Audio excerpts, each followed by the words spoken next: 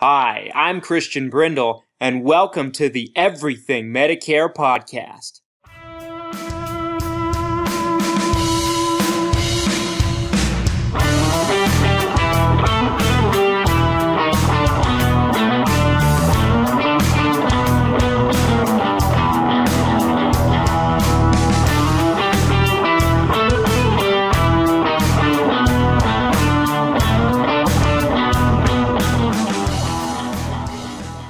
What's up, everything Medicare Podcast Nation? This is Christian Brindle, wherever you are and however you might be listening. I hope this video, podcast, audio, however you might be listening, finds you doing well. Every single week, we bring you three podcast episodes where we discuss your Medicare, your Medicaid, your Social Security, and everything that has to do with that golden age called retirement. And I have a, really, really special guest with me today. Um, I've been really looking forward to this one. You may know him if you've been listening to us for some time. Um, we did some work together on the podcast back during the enrollment period, and um, I have Randy W. Hall, the Mr. Nice Guy Medicare advisor, here on the show with me. Randy, thank you for taking some time out of your day. C to the B. The pleasure is all on this side of the monitor, man. Finally, finally glad to be here talking some Medicare and some crazy stories with you hopefully we can uh, entertain you as well as educate you. Absolutely. I mean that's that's kind of the goal here right? Um, well randy you've been you've been someone that's been you know working with people on medicare a while. You know you, you're experienced. You've helped a lot of people. Before we kind of get into this a little bit talk about your history how you got into the business and kind of what you're doing now. Uh, i'll give you the cliffs notes version but uh, the main thing was I moved here from uh, Detroit, Michigan, where I hail from, um, 13 years ago, Super Bowl Sunday, 13 years ago. And I never had been in the insurance business, knew nothing about it. I actually came from advertising in Detroit. And my sister got me a job as uh, at, through Kelly Services, where she worked at the time. She got me a job in the Medicare side of Genworth Financial which doesn't exist anymore. Right, right. But back then it did. They got bought by Aetna, in case anybody out there needs some trivia. But uh, I started working for them and I became an agent recruiter. So what I would do is I would recruit agents to sell Genworth Financial's Medicare supplement products in Continental Life. Uh, if you if you remember them them out there agents, Genworth bought Continental Life, so I was out there recruiting agents to sell those supplements throughout the United States. So I learned all about Medicare. I learned all about the industry. I did that for two and a half years. And then uh, one day we were making too much money because we got paid commissions on our agents and we got a salary. Well, our boss's boss got the brilliant idea to lay us all off and then rehire us at straight salary to save the department some money because Genworth, the parent company, was bleeding money. If you, if you remember that, hmm. so they laid me off. Well, one thing they didn't count on was me not taking my job back. So what they had done is they made me get my license while I worked there. And me and my wife talked about it and she's like, "Look, you're going to get unemployment because they laid you off. You didn't you didn't get fired, you got laid off." So I was able to get unemployment. So all that to say is she's like, I can float us for a while while you build your business. And that's what I did almost 10 years ago to the day. Uh, it was January 14th, 2010 was when I officially got laid off and went out on my own. So I had some good mentors, guys I had recruited. And the main thing, this one guy, his name's Don Oliver, I'll give him a shout out in Evansville, Indiana, great guy. He said to me, he said, Randy, no matter what you do, get to 500 clients as quickly as you can. Because if you get 500 clients, as you know, Christian, this is mm-hmm. a residual based business. So if you get 500 clients, you can pretty well stay in business without too much of a problem unless you're reckless or stupid with your money. So I got to 500 clients within two years. So in two years, I had those 500 clients. That's great. Yeah, he says the reason you do that is so you can, you know, you could start to relax a little bit and enjoy life. So you you live in Utah now, mm-hmm. which I think is the land of multi-level marketing. That's how I oh, think Utah. It's it's the capital. So what what these multi-level marketers talk about doing is what we do. Like we have true residual income if you think about it, because what senior citizen is going to go without health insurance? Mm-hmm. So I got those 500 clients, and from those 500 clients, I've been able to work a lot less hard and enjoy my life a lot more because I focus on retention. The way we lose clients most of the time is by death, unless we just ignore them. So if you keep up with your clients and do the right things for them, number one, they'll refer you to their friends and family. Number two, they'll stay your clients. Like even if the plan is terrible, because that happens, you'll put people on a plan and they'll have a, a bad experience. Well, if they don't know you or trust you, they'll just go find a new agent or something or get talked into something. Which I mean, it happens once in a while. But if you try to help them and you, and you work with them and you call them every year, like I know you do and I do too, they know that you care and they'll they'll trust you to to find them something better a lot of times. So that that was the secret for me. Now I'm 10 years in, and I probably have a thousand clients now, give or take. Um, so I got 500 in two years, and I got another 500 basically since then. But people die, they drop off. Mm-hmm. So what I always try to do is at least replace the ones I lose.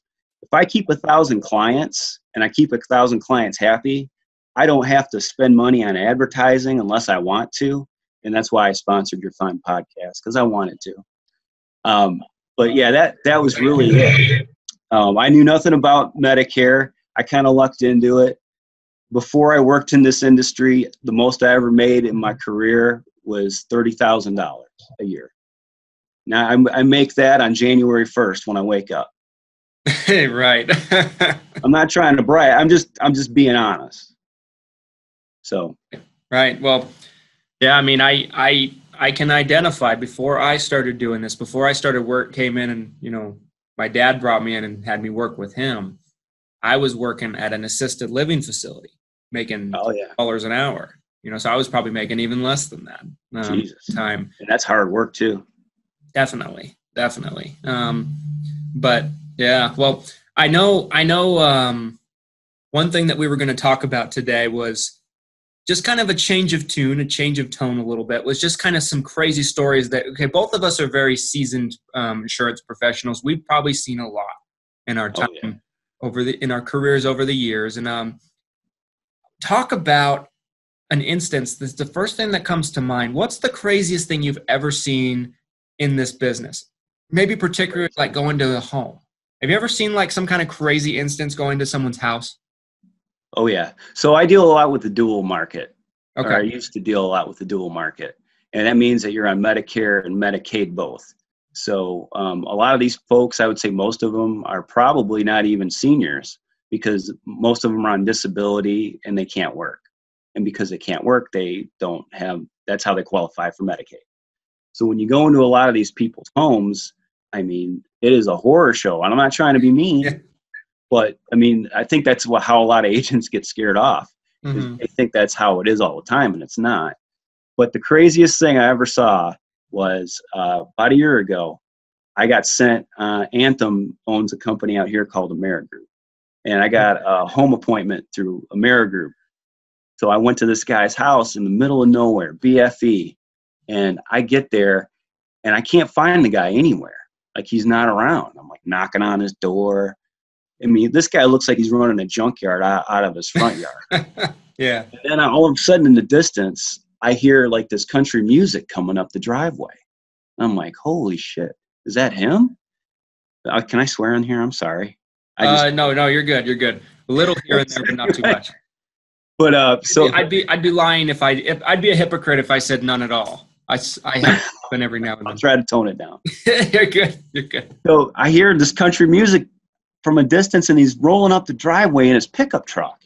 I'm like, I think this is him. And his name was Homer. So Homer rolls oh. out there. He goes, he's like, Hey boy, what are you doing here? I'm in Tennessee. I'm in the hills of Tennessee. Like if you're yeah. thinking deliverance, this is where deliverance could happen. So without the banjo music, Homer's like, "Hey boy, what are you, what are you doing here?" And I'm like, "Well, I I had a preset appointment, um, Mr. Pierce, um, and I'm here to see you. Um, so I'm going to show you this dual plan uh, through AmeriGroup." And he's like, "Well, come on, come on over then." So I come on over, and he he puts down the back of his pickup truck, and I I am not lying, man. A severed freaking deer head just sitting there. Oh, he's like, you mind, you mind if we do it here? And I'm like, okay. I'm like, but I, I usually start with what kind of what insurance do you have now? Because Mr. Nice Guy Medicare Advisor, like my whole racket is, I don't make a situation worse. If you've already Right. got a good situation, I'm not going to screw you up. That is the last. It causes more problems and stress I don't need. That we don't get paid enough for that. So I always start with, what what do you have now? And oh boy, he pulls out this United Healthcare dual card. And I'm like, and in my state, at, at, at that time, they were better. I mean, I'm just frankly, they yeah, were better. the, the product Now- is a now- better product. You could uh, you could uh, uh, argue it a little bit more, but I'm like Homer. Um, I'm just gonna tell you straight. Do you like your insurance? And he's like, Yeah, I, I like it, man. I'm like, Why would you set an appointment? Because you got the best insurance possible. Like, you want to talk about the golden ticket? This is it. He's he had the golden ticket already. hmm I'm like, you don't want to step over a, a ten dollar bill to get to it. You don't want to step over a twenty dollar bill. I'm sorry, I'm saying it backwards. You want to step over a twenty dollar bill to get to a ten dollar bill, do you? you? You don't do that, do you? He's like, no. I'm like, you want to keep this, Homer, and I got the hell out of there. yeah. Hey, well, that's that's a good agent in my book. yeah, because a lot of agents out there would just be like they'd come in they'd look at it they'd come to the same conclusion as you and they'd be like oh homer your product sucks it's time to re- do re- do and replace Al. Yeah. Sorry, I mean, no no no you're fine you're fine um but no i'm i i commend you for doing the right thing you know and just assessing the situation and getting out of there but yeah and i and i remember i got a crazy one for you so oh, dude, hit me. So I I, re- I remember in my first two years in the business, um, I was very very young. I must have been 22 at this time or something like that. Greater than grass. Yes, yes, um, blank slate, if you will. And nice. So we got we we bought it we bought a lead order at the time, and um, I don't even I couldn't even remember what lead company it was through. But mm, so I I came into the business with a very good friend of mine. You mentioned um, multi-level marketing earlier. Believe Uh-huh. when we were when we were just kids, we were in a multi-level marketing t- business together. That's how I met the guy. And then he came into the business with me. He's still with us today. He's in the office over from me. But anyway, um, we bought this lead order, and I went out on it myself. Um, and there were times we would go out together when we were first getting started. You know, just from like a, a you know a comfort perspective because we were so young and so Sure. experienced. And have backup like that. yeah, yeah. And so um, I get to this guy's house and I go knock on the door. Nobody comes to the door, but the garage door's open. So I ring the doorbell a couple times, make an appointment with this guy. Um, and so I call the phone number and he's, and when I talked to him on the phone, he sound, didn't sound quite right. Uh huh. A little screw screw might be loose. Yeah, something along those lines. Maybe don't go to the top floor. So so I, I call this is something out of like a horror movie or something. I kid you not. Um, I couldn't make this up if I tried. So I call him, and he go he answers the phone and he says, "Oh, the garage door is open. Come through the garage." I said, "Okay." So I'm walking through the garage. He's like, "Don't go through the gr- the, fir- the the door though that goes into the house. To your left, there's a stairway that goes down into the cellar." Whoa. Um, and so I go I go in. Sure enough, there's this like Silence of the Lambs like stairway Holy hell. to the cellar. I'm like, huh? I'm like, uh, and I'm like, all right. So I just walked down the stairs, and the walls were made of concrete. They looked like they were soundproofed. Um, so I get down there, and there's there's like it's almost like a very large area, I should say. Um, It's like a big basement, open area. Yes, yes, but um, there was nobody down there but him, and he's in this other room off to the side, and this like it's, it probably was like the size of a closet, maybe even an elevator room, not very big, and he's sitting in a rolly chair like this one I'm in right now, and he goes, "Come here, come here." I'm like, um, and I'm at this point I'm I'm I'm a little freaked out, so I'm just because of the situation, and the guy's really big. The guy's like probably six five, if I had to guess, probably 300 pounds. Oh, big So boy. I'm not a big, I'm not a huge dude. I'm probably five eight, maybe maybe a buck fifty, and at this point, even lighter than that. Um, and so I'm not, the first thing that goes in my head is like, if this guy, like, if all of my, if all of my um, inside voices are correct, you know, you ever, your, your your your inside head is telling you something, and get away from something. It's usually probably true. It's a good instinct. Yeah, yeah. and so know, Fight I- or flight. I, I I start thinking to myself, if this guy got a hold of me or something like that, I, I I'd never get away from him. You know, I almost felt like I was being kidnapped or something. I felt like I was a little kid all over again. Not that I was ever kidnapped, but you got to get my point. Um, I get what you're saying. so, I think you're going to be on an, an investigation discovery program. yeah. Oh, my wife will be watching. She loves watching those. But um, and um, so I go, I walk very tentatively into his office, and I sit down. And like I said, the his office was probably the size of an elevator room. It was not huge. I walk in, there's nobody else down there. He closes the door, which I'm like, why are you closing the door? And I'm like, there's no one else down here. And we're very close together, very small encounters. I, I talked to him for probably 10 minutes and there was something off about this guy. Something was not right about this dude. So I made it sound like my phone was going off. I looked at my phone. I was like, oh, I'm sorry. I have to go. I'm sorry. I missed. I, I, I forgot I had a meeting. I forgot I had this. I forgot I had that. And he's like, oh, are you sure? Are you sure? And I just bolted out there like a bat out of hell. like I, so as a postscript um, did you like watch the news a week or two later and this guy this guy's house was on the news No, no. I mean, that would have been a perfect end to the story. Well, not not a, not like that. You don't want to ever see something like that. But but like no, I never I never saw him on the news. Never heard about him again or anything like that. But good lord I think I told him I was like I was like yeah, your plan's the best thing for you. Blah blah blah blah. I was just trying to get out of there. I was like I did I did not feel safe. I never felt like that on an appointment quite like that again. It was yeah right very offsetting. But it was like my wife. My wife remembers that story because she watches all those investigation discovery, you know, shows and everything like that. And she's like, she's she's like, I wonder what would have happened if you kept the appointment. I'm like, I probably would be like, you know, in a hole somewhere, you know, uh, Silence of the Lambs style, you know, put the lotions on its skin again, kind of thing. Oh my god it's great, yeah. i've never i mean i've been uh, in this over a thousand people's homes probably you know 2000 or something and i've never felt like that i mean i've been in Yeah. i've been in some rough areas and been in some tense scenarios i mean i am from detroit so Yeah. the city, not the suburbs.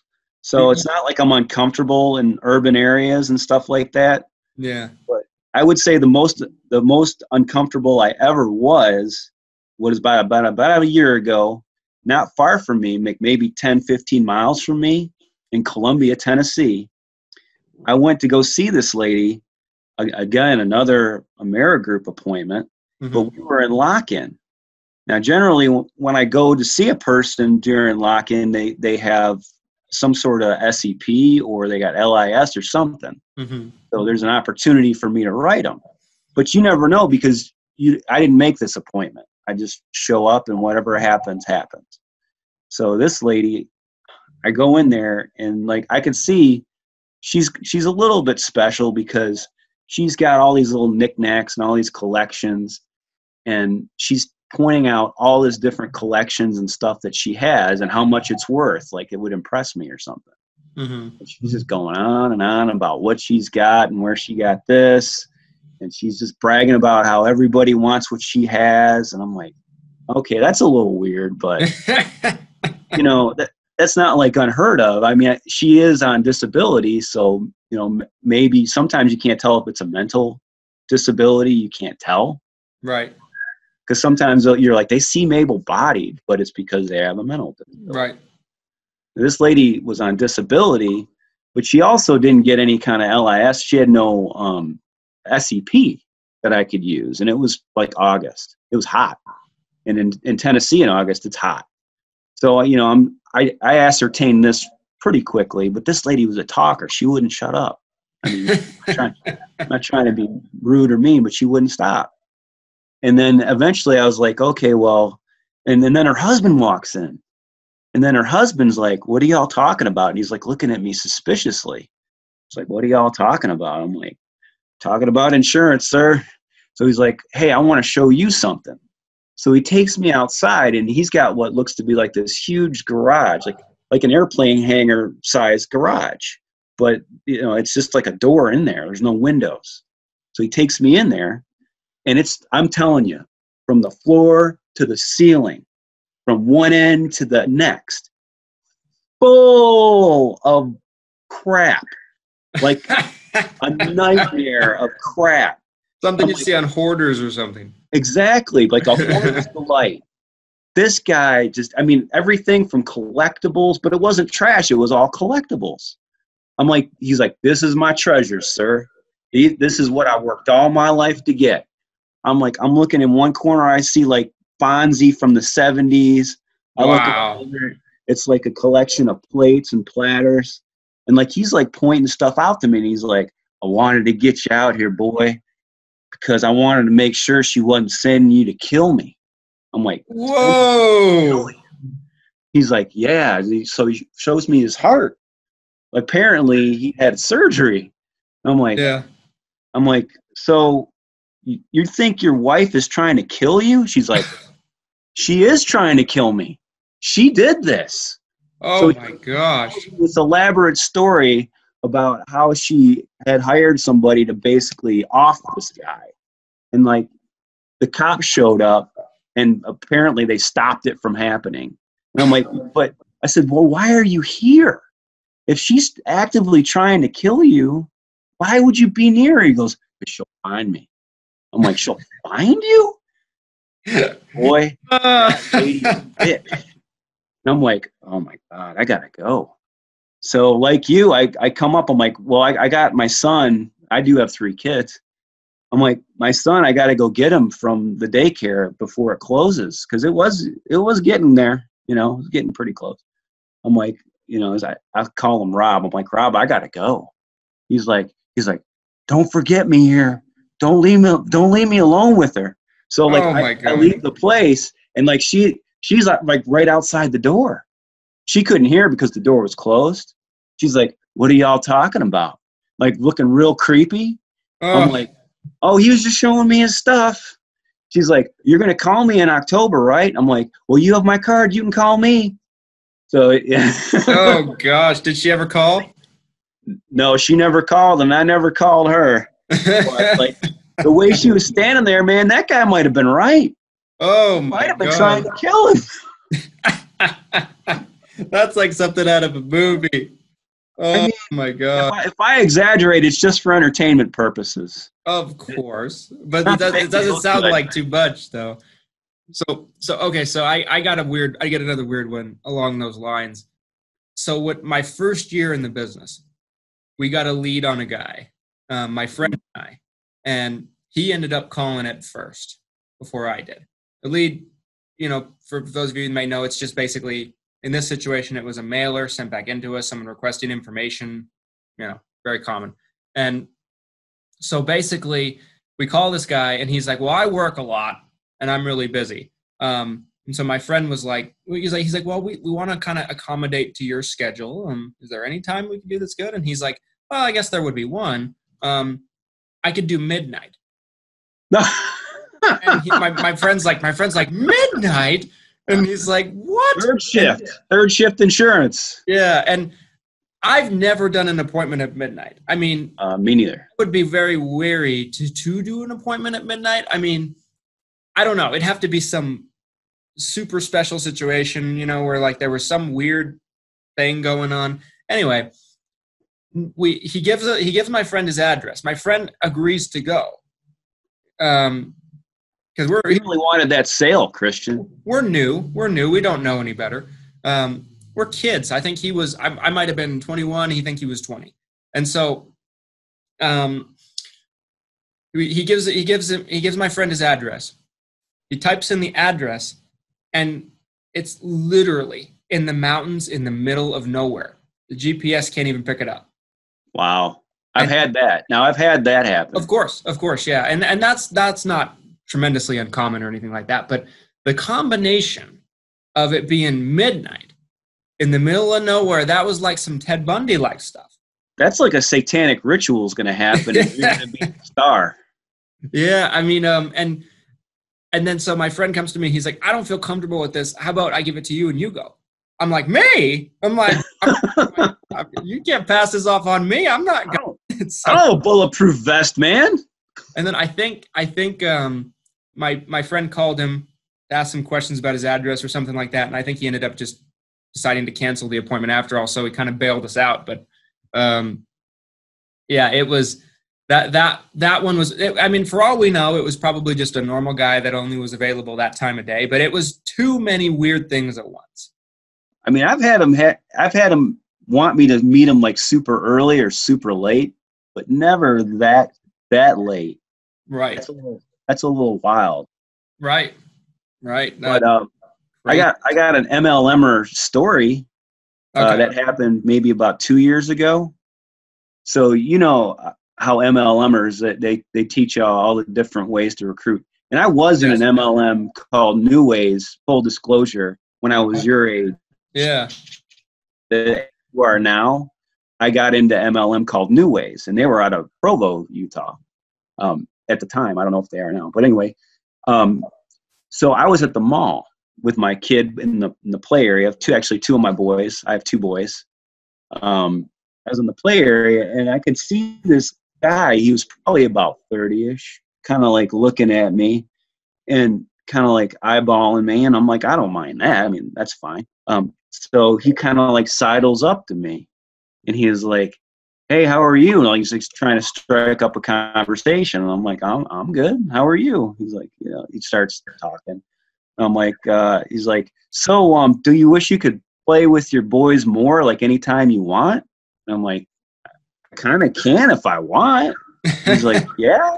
He's like, well, you know, how how great would it be if you had all, you know, all the time in the world just to spend with your family? I'm like, like, guess that would be good. And he- so he starts going into MLM and didn't even get to what it was. But I'm like, so he's telling me, and I'm like, hey, can I tell you something? And he's like, he's like, yeah. I'm like, sir, I work in a business for myself where I actually help people, where I actually give them something they want or need and need. He's like, what? He's, I'm like, so now I'm, I'm, I'm making it seem like I'm trying to sell him. I'm like- Yeah, flipped it around on my- Yeah. So like actually the people need what I have and they want what I have and I don't really have to talk them into too much. Not only that, I don't have to get orders or anything every month. Uh, and he's like, "Really?" I'm like, "Yeah." And as long as I keep my insurance license, I get paid every month. And and he's like, "What?" I'm like, "Yeah." If I just decided one day I just don't want to do it anymore, I just want to keep my license up, I could do that. And I bet you I make a, and I'm, I guess this is kind of a douchey thing to say, not a nice guy thing to say. Mhm. I said, I said you know, and I don't have to bother people at the mall. I just, Yeah. I just, people don't have to do anything anymore. I go, people are not going to cancel their insurance. He's like, yeah, I guess you're right. And then he kind of like, kind of like walked away. And I'm like, you know, this is like MLM, but the, the best possible way. Right.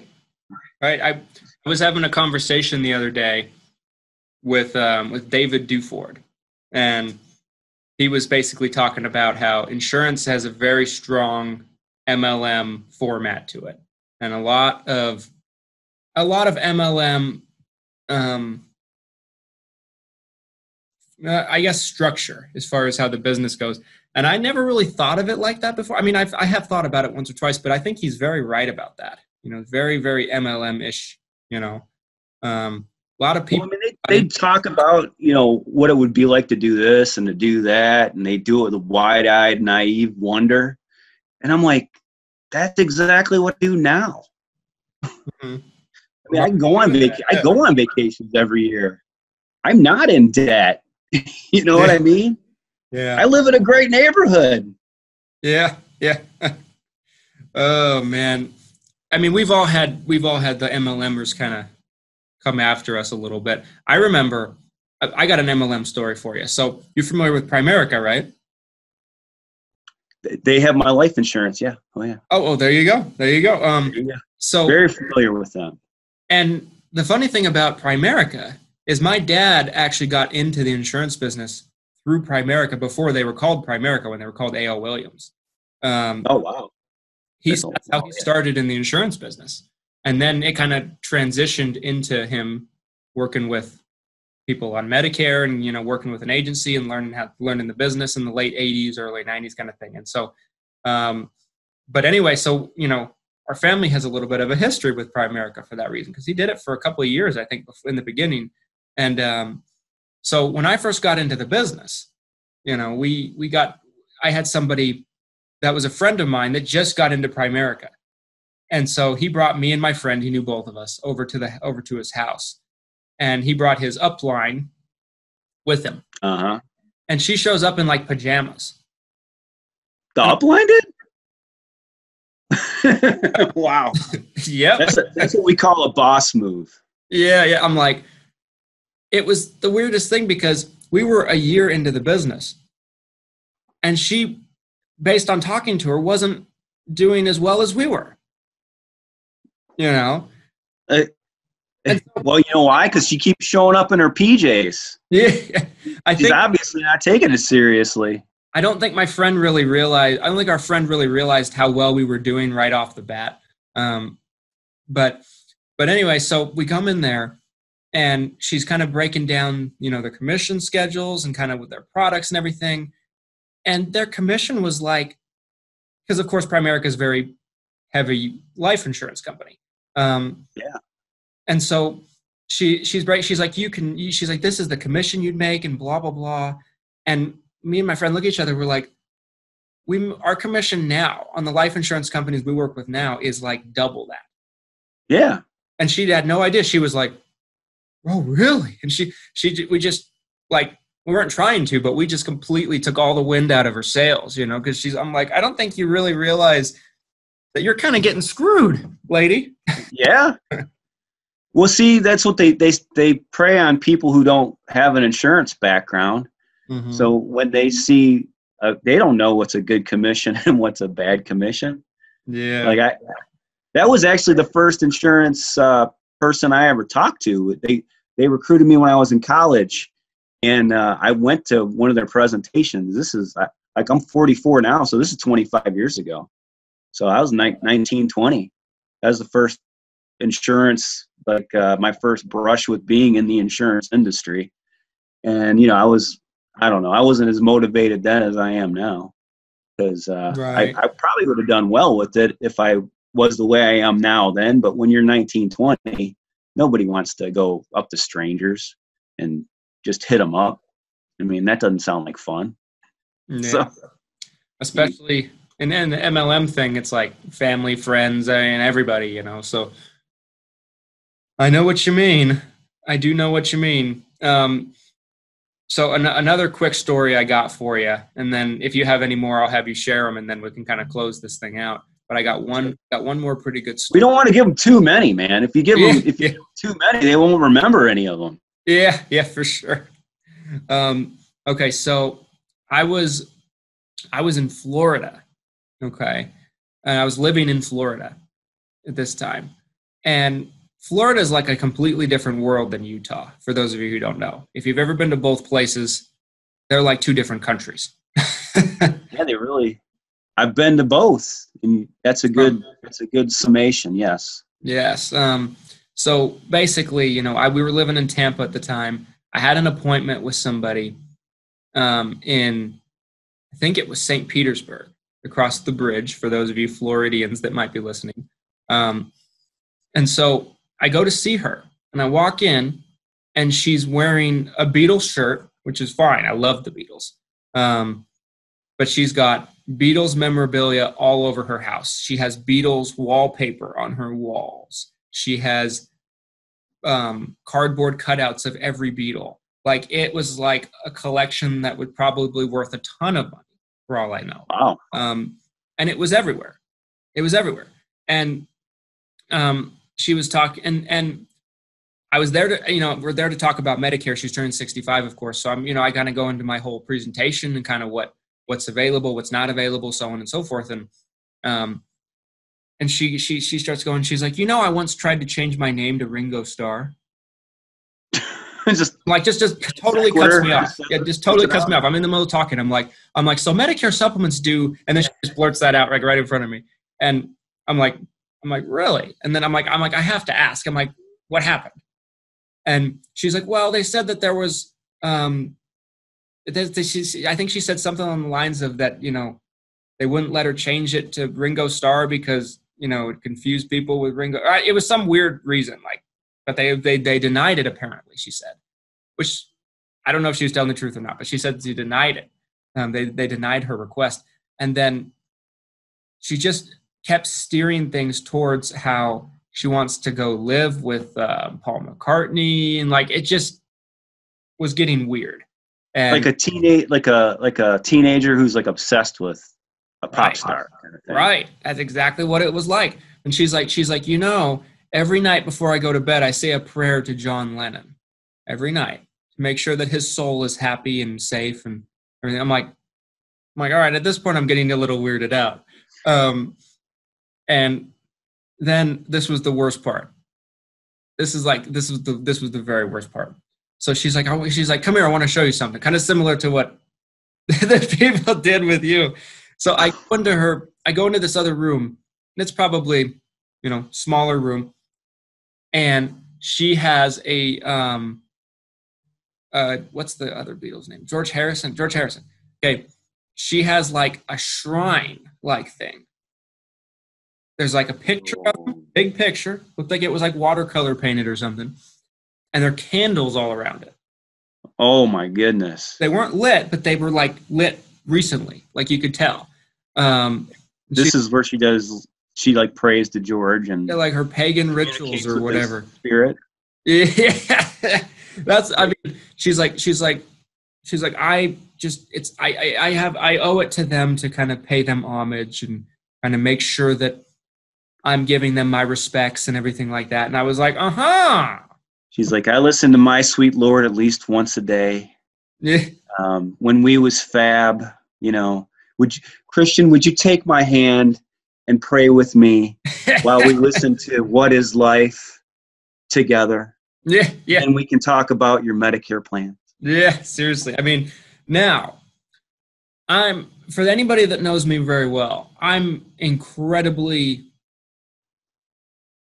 resilient with weird stuff. My weird bar is pretty high.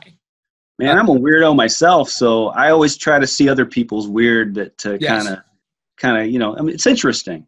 Yeah, and so you know, I you know, I don't care what what someone's religion is. I don't care you know what where someone's from, their ethnicity. I I, I could care less. You know, um, to me, you know, people are people, and you know, I don't get much more into it than that.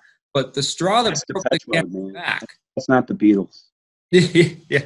Sorry, I, I couldn't help myself. No, no, you're fine. Um, the straw that broke the camel's back with this lady was um, she wanted me to basically she's like she's like if I go with you, I'm looking for an agent that's willing to come by every week and sing Beatles songs with me.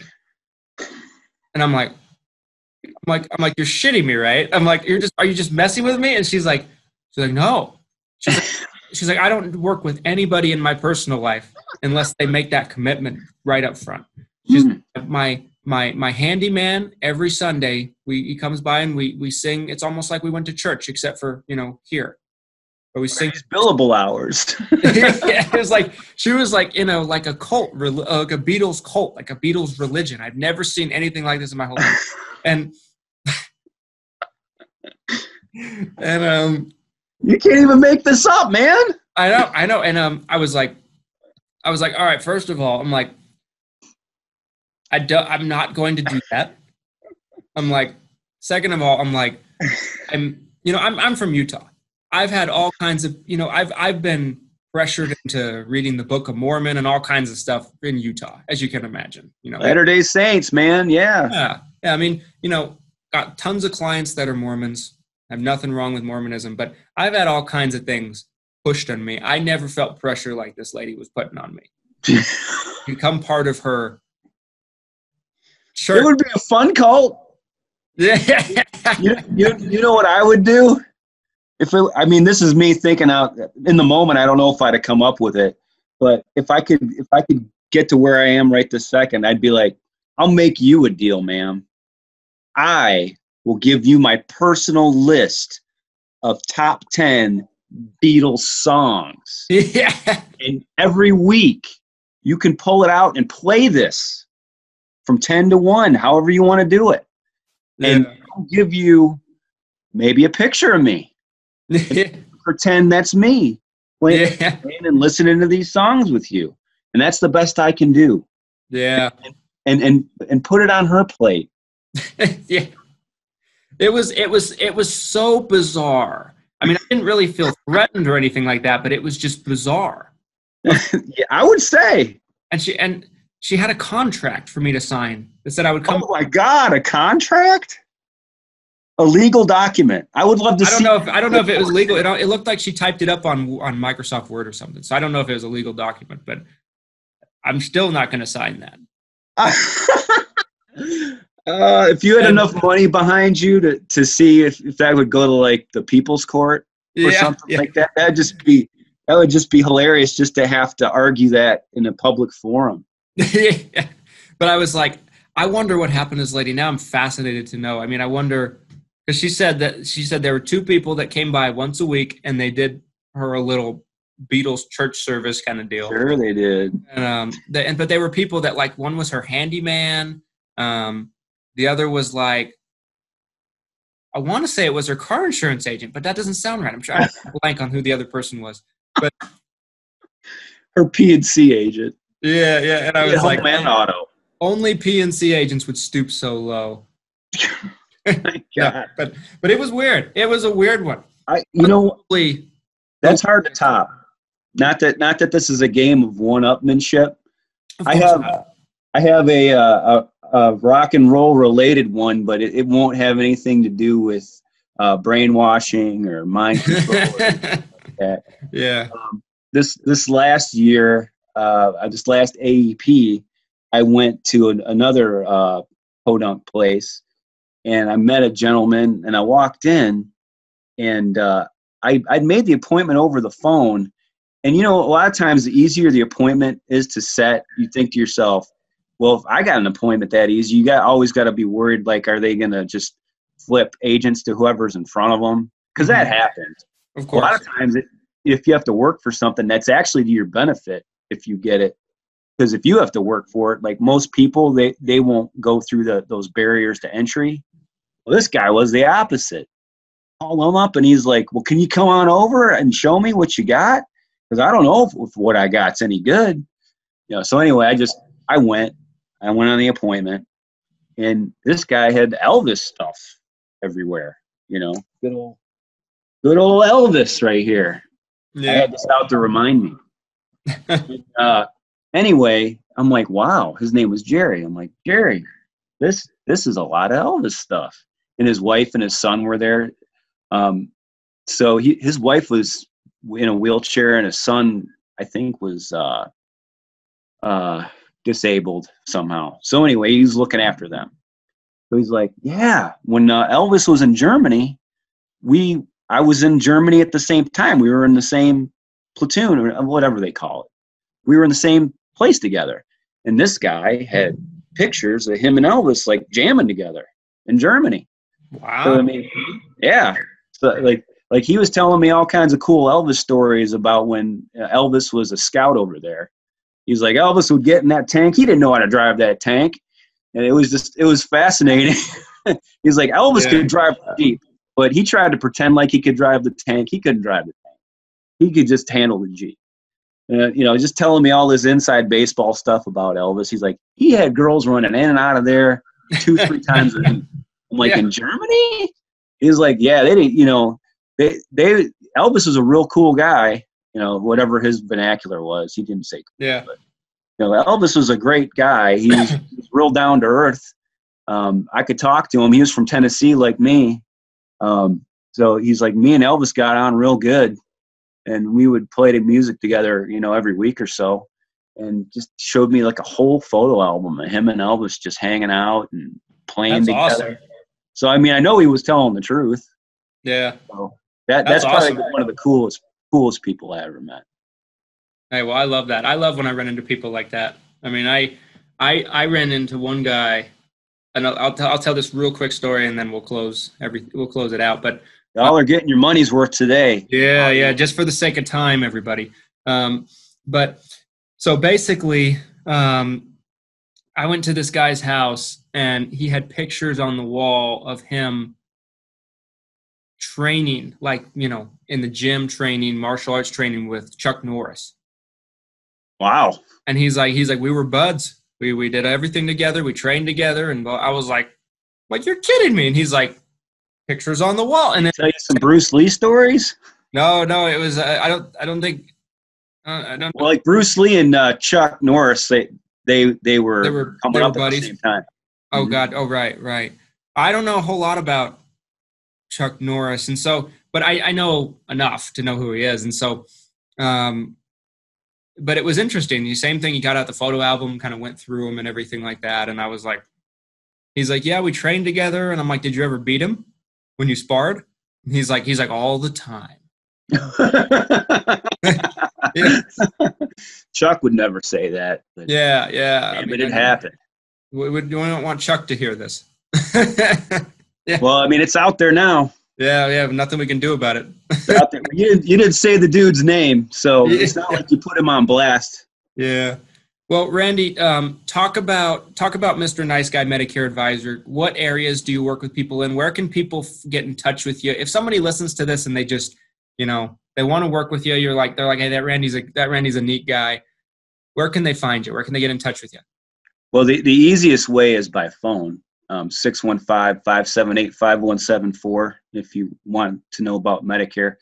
Um, Medicare really is my niche. I mean, that's 99% of what I do. I mean, I could do some life insurance and things of that nature, but I, I really try. I learned early when I saw a lot of the people who started around the same time as me. They would try this, they would try that. I really concentrated on Medicare, and I know it back to front. Now, I, I still learn stuff all the time. I mean, you, when the longer you're in this industry, you're like, oh, I didn't know that. I mean, Mhm. but through your podcast, I've actually I've learned I picked up some stuff I actually didn't know. So uh, that's Oh, another great great. thing about your show. But uh, I'm also on the web. If you put in MR for Mister and then Nice Guy Medicare Advisor.com, that's my website. And uh, I got some um, essays and articles on there if you want to. Um, I, I'm kind of like a philosopher in a way. I, I read a lot. Um, so I like try to take a lot of what I read and, and kind of put it out there, not in like a crazy way, but just like life, kind of life experience kind of way. Um, I have a lot of beliefs about, um, you know, the happiness and what causes happiness and what causes unhappiness. And uh, through this job, I've had the luxury of kind of like indulging in a lot of hobbies and enjoying my life a lot while I help people and, and make a good living. Like I, I like, unlike a lot of agents, I don't try to work 40, 50 hours a week when it's not AEP. When it's AEP, you know, I'll work 50, 60, 70, whatever it takes. But when it's not AEP, I, I try to enjoy my family, my life more. Um, but I always have time. If people call me, I will help them straight away. Um, and people, uh, they're like, why Mr. Nice Guy? Why'd you go with that? I'm like, well, a lot of people have a negative connotation about a nice guy, like weak minded or whatever. Mm-hmm. Well, it, it had a lot more of a better ring to it than compassionate nice guy or compassionate Medicare advisor or empathetic Medicare advisor. Yeah. You know, emotionally intelligent Medicare. I mean, that those kind of things don't roll off the tongue the same way Mr. Nice Guy Medicare Advisor does. I, I, I love what I do. I take it seriously. Um, I don't take myself seriously, as you probably tell, but I take I take Medicare and, and helping people find the best plan for them seriously. So that's my story. I'm sticking to it, Nabbit. Great. And um, Tennessee and Kentucky still, right? Yep, Tennessee and Kentucky. Those are Perfect. my areas of uh, getting after it. I used to be in Georgia, um, but I'm not. So I don't. Gotcha. I don't want to tease y'all. Yeah. Hey, well, everybody, um, if you're in those areas, if you need help with your Medicare, if you know somebody in those areas that needs help with their Medicare, give Randy a call. He can help you. He's a good guy. He's a good agent, and um, yeah, I mean, you're not going to find a better person in those areas. Um, Damn straight. yeah. Well, uh, Randy, thanks so much for taking the time. Um, really appreciate you coming on. I think it's a really good episode. Oh man, thank thank you for having me. I, I miss podcasting, so you get you let me scratch the itch. Hey, my pleasure. My pleasure. Well, everybody, thanks so much for taking some time out of your weekend to listen to us.